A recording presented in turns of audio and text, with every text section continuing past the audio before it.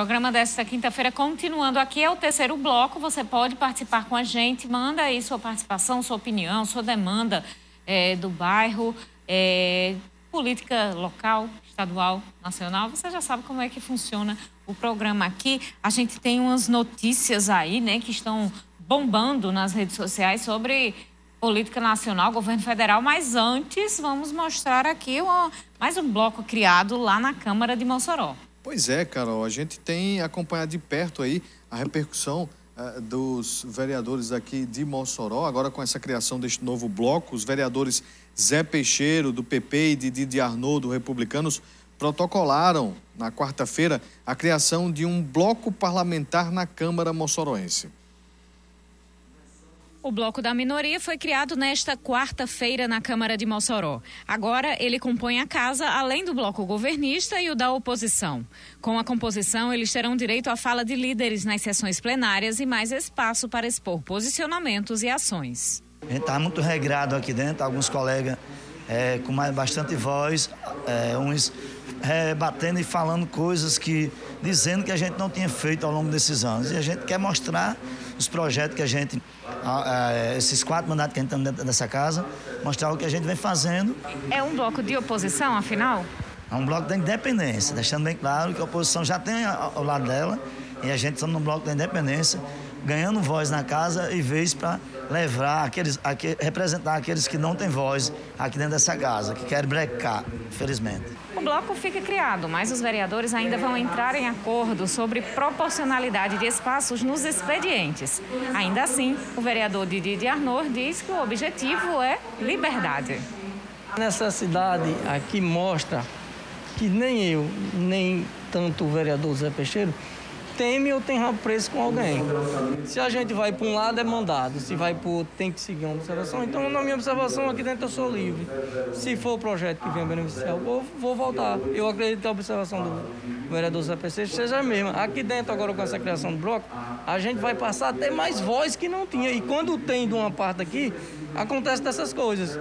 Se a gente for aqui trazer uma reivindicação de certo bairro e citar o nome da administração, se não apanhar é porque tem que ficar calado. E se rebater, é ruim, porque aqui dentro acontece isso. Se fala em ditadura, aqui dentro é, pode puxar um pouco que está tendo aqui. Não pode trazer reivindicações, problema da cidade, para cá para dentro e falar da gestão, não. Você pode trazer e dizer que está ruim, mas foi da gestão passada. Se falar dessa aqui, o cão pia. Cancão pia, viu, Vanúvio? Tá quando o cancão pia, é o que o negócio tá ruim, viu, Carol? O cancão não pode piar, não. Pois é, tá ali dizendo que agora vai ter liberdade, então vamos acompanhar. Para a oposição, é muito positiva a criação desse bloco, porque é, vai ser um espaço a mais de fala e que provavelmente é sempre com posicionamentos críticos em relação à bancada governista e à gestão municipal. Para a oposição vai ser muito bom.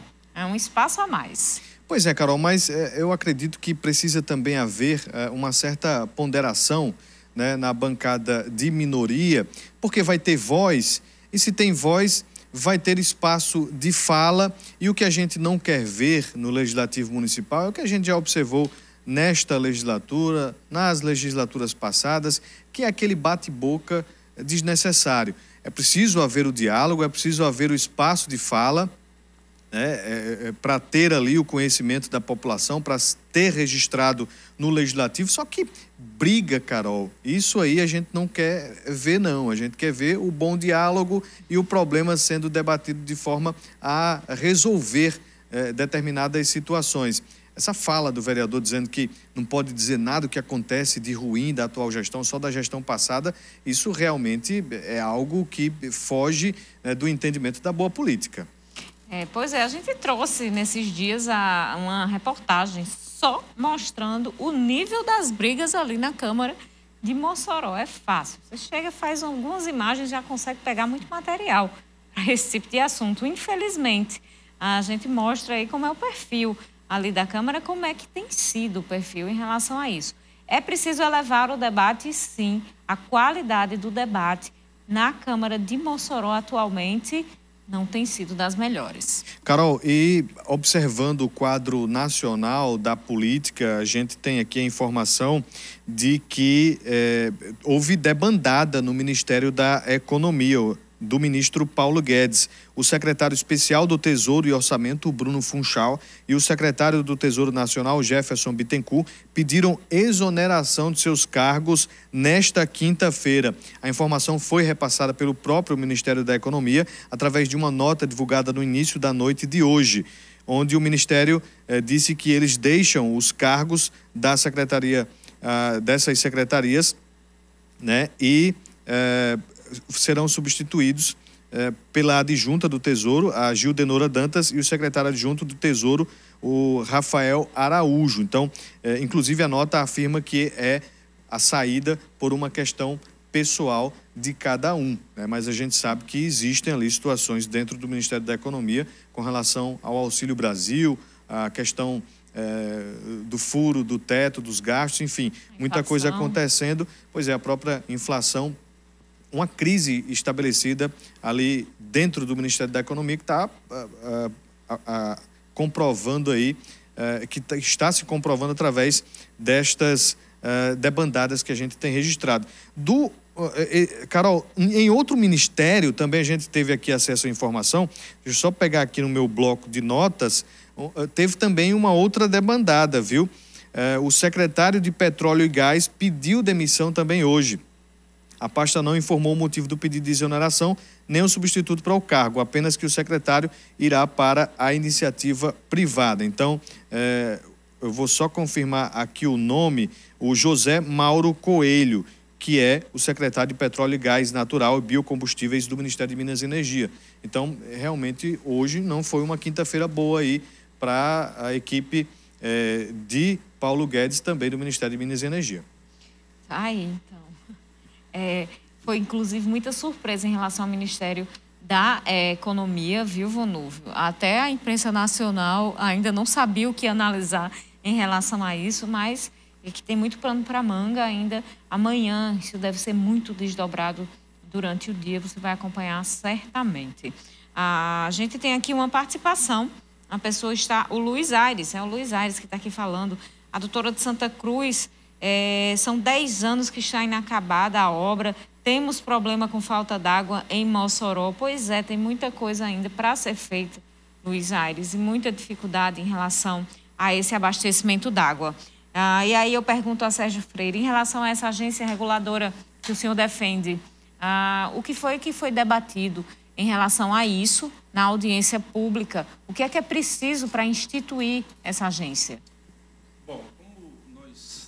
Trouxemos muitas informações, eram muitas informações, a grande maioria é, que estava lá presente não tinha conhecimento desse, desses gargalos que existiam, achava que o, o único problema era a, a dificuldade de, de, de fornecimento da água contínua e nós trouxemos muitas informações. Então, eu entendo que eles vão ter que digerir, é, mas senti é, a preocupação dos parlamentares que lá estavam, a grande maioria, e ficaram perplexos com as informações que nós trouxemos.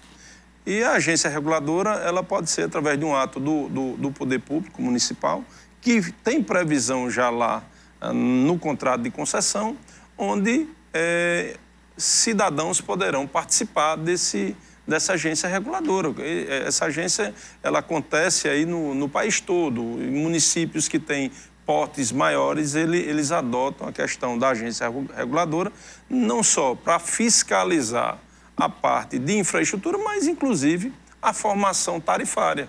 Porque essa formação tarifária ela é formada por três grandes é, vertentes, que é a captação, a distribuição e a manutenção.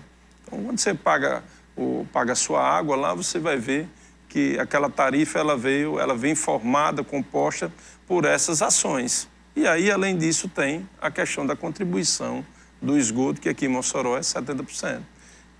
A gente tem acompanhado né, as é, questões que envolvem o, o, o sindicato, é, as demandas, né, o senhor citou algumas aqui, inclusive, perante ao município de Mossoró, mas na parte econômica, que existia uma boa perspectiva né, já a partir de 18 quanto ao avanço de novos empreendimentos aqui para Mossoró, ao reaquecimento né, do setor. Como é que eh, o setor enfrentou né, ao longo desses últimos anos, inclusive a pandemia, né, tendo em vista essa perspectiva positiva e todo o problema econômico que a gente tem enfrentado no país? Bom, por incrível que pareça, o período da pandemia, a construção civil ela conseguiu se sobressair em detrimento das demais economias, principalmente o ano 2019, é, o segundo semestre e também o ano 2020, é, foram muitos negócios que aconteceram, até porque passou a se valorizar a casa, as pessoas tinham a casa apenas para pernoitar, não era ah, o primeiro pensamento de, de consumo. Então, nós perdíamos aí para o sonho da, da viagem, para o carro, e a moradia tinha, vinha sempre sendo deixada em segundo plano. E essa cultura ela mudou com a pandemia. As pessoas foram, de certa forma, obrigadas a ficar em casa e a despertar como é importante você morar bem. Então, nós tivemos um, um aquecimento na, na construção civil. No entanto, nós fomos bastante impactados pela inflação. O aumento de insumos acarretou uma grande dificuldade, porque eles subiram de uma forma exponencial que nós não estamos conseguindo, não se consegue, por uma questão de mercado, de repassar esses custos ao consumidor. Então, o, nós entendemos que os próximos empreendimentos lá na frente, nós não vamos ter como segurar mais esses aumentos. E há uma tendência, sim, de aumento na, na, na habitação, nos imóveis. Isso se permanecer como está, nós temos itens, insumos na construção civil que subiu mais de 100% em 12 meses. Então, e eu cito aqui o caso do aço, por exemplo, que subiu mais de 120%. Então, isso impacta diretamente. Nós poderíamos ter uma situação bem confortável, no entanto, em função dos aumentos dos custos dos insumos, nós temos sido bastante pressionados. Então, é, a a perspectiva de, de recuperação, e aí, nesse caso, pelo que você fala, se não tiver, vai ser repassado para o consumidor. É isso? Infelizmente, nós teremos que repassar, porque isso é uma conta simples, aritmética. É você, você tem um custo de produção, tem que ter alguma coisa para que nós possamos é, oferir lucros e passar para o consumidor final. Infelizmente, é, isso é uma cadeia e deságua no consumidor, naquele que tem a necessidade de ter sua moradia. Então, nós acreditamos, se essa política econômica, se a instabilidade, continuar com essa instabilidade econômica de aumento de preço, é, logo, logo nós teremos aí aumentos bem significativos na construção civil.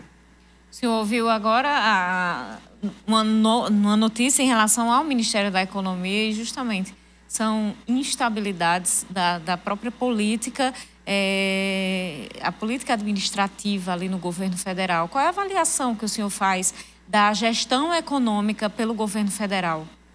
Bom, acho que o nosso grande problema é uma crise política, não é nem econômica. Obviamente que uma coisa está diretamente ligada.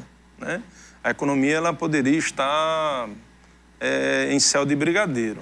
É bem verdade que a, a pandemia ela impactou demais. Né? Nós estamos falando num, num, caso fortuito de força maior que ninguém esperava que nós fosse, fôssemos acomedidos da forma que nós fomos. E não foi só o Brasil, né? foi o mundo todo que experimentou uma situação que jamais havíamos experimentado.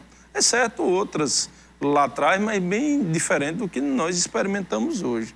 Então, a crise política tem sido o grande problema. Esse tem sido o grande problema. E aí, tratar da economia, nós precisamos primeiro salvaguardar a questão política.